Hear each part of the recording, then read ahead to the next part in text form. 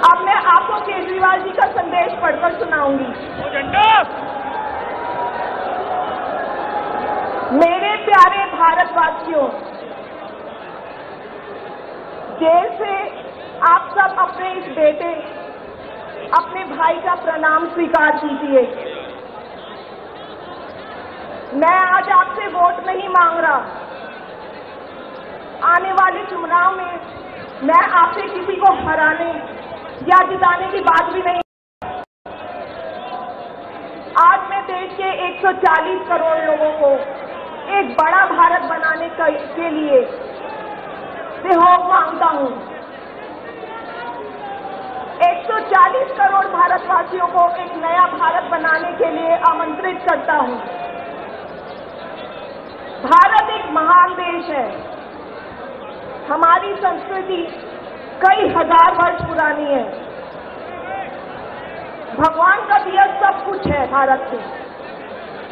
फिर भी हम पिछड़े क्यों हैं? हमारे लोग अनपढ़ क्यों हैं?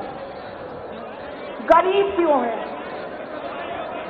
मैं यहाँ जेल में हूँ। यहाँ काफ़ी समय सोचने के लिए मिलता है। रात को टूट टूट के नींद आती है। भारत माँ के लिए सोचता हूँ। भारत माँ बहुत दुखी है।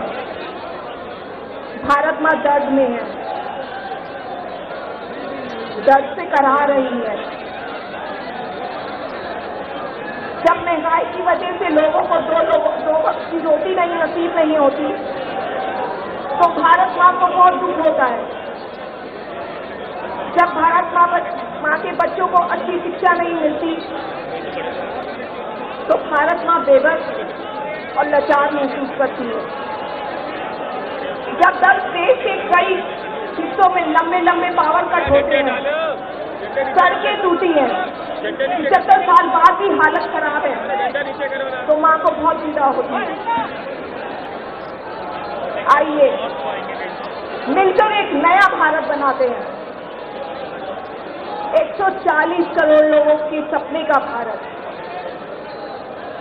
एक ऐसा भारत जहाँ हर इंसान को भर पेट खाना मिलेगा, हर हाथ को काम मिलेगा, कोई बेरोजगार नहीं होगा, कोई गरीब नहीं होगा, कोई अनपढ़ नहीं होगा। हर बच्चे को अच्छी शिक्षा मिलेगी, चाहे वो अमीर का बच्चा हो। या गरीब का। हर बीमार को अच्छा इलाज मिलेगा, चाहे वो अमीर हो या गरीब। देश के कोने कोने में 24 घंटे बिजली होगी। देश के हर गाँव में शानदार सड़कें होंगी। एक ऐसा भारत होगा जो पूरे विश्व विश्व में शिक्षा का केंद्र होगा। जहाँ दुनिया भर के युवा पढ़ने के लिए आएँगे, एक ऐसा भारत बनाएँगे जो साइंस और टेक्नोलॉजी में वर्ल्ड लीडर होगा। भारत के अध्यात्म को दुनिया के कोने कोने तक पहुंचाएँगे। एक ऐसा भारत बनाएँगे जहाँ कोई ऊंच नहीं होगी, नफरत नहीं होगी, मारपीट नहीं होगी गाली गलौज नहीं होगी। जहाँ सबको न्याय मिलेगा, प्रेम और भाईचारा होगा। आज मैं देश के 140 करोड़ लोगों को ऐसा भारत बनाने के लिए आह्वान करता हूँ। यदि आप सब इंडिया गठबंधन को मौका देते हैं, ज़िम्मेदारी सौंपते हैं तो हम सब मिलकर ऐसे महान राष्ट्र का निर्माण करेंगे।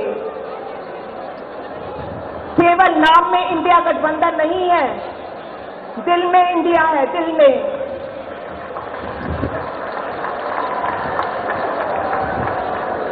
मैं इंडिया गठबंधन की ओर से आज 140 करोड़ लोगों, भारतवासियों को छह गारंटी देता हूँ।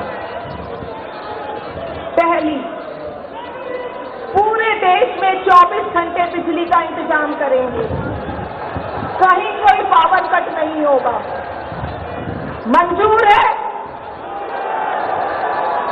दूसरा, पूरे देश के गरीबों की बिजली फ्री करेंगे। मंजूर है? तीसरी, हर गाँव और हर मोहल्ले में शानदार सरकारी स्कूल बनाएँगे। अब गरीबों और अमीरों के बच्चों को अच्छी और एक समान शिक्षा मिलेगी। होना चाहिए। चौथा, हर गाँव और मोहल्ले में मोहल्ला क्लिनिक बनाएँगे। हर ज़िले में शानदार मल्टी स्पेशलिटी सरकारी अस्पताल बनाएँगे। देश के हर व्यक्ति के लिए शानदार और फ्री इलाज की व्यवस्था करेंगे। मंजूर है।